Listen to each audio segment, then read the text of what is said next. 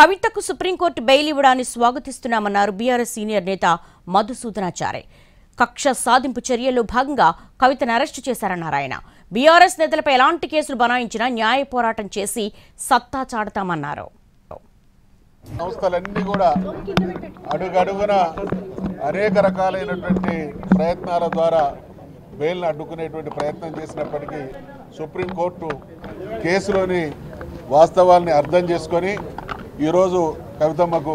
Bail మంజూరు చేయడాన్ని మేమందరం కూడా రాజకీయంగా బీఆర్ఎస్ పార్టీ మీద కానీ నాయకుల మీద కానీ ఎటువంటి కుట్రలు కుయుక్తులు ఎ- ఎదుటి వాళ్ళు ప్రయత్నాలు చేసినా రాజకీయ పార్టీలు వ్యవస్థలు చేసినా ఖచ్చితంగా న్యాయస్థానాల్లో న్యాయ పోరాటం చేస్తాం. ప్రజాక్షేత్రంలో కూడా పోరాటాలు చేసి మా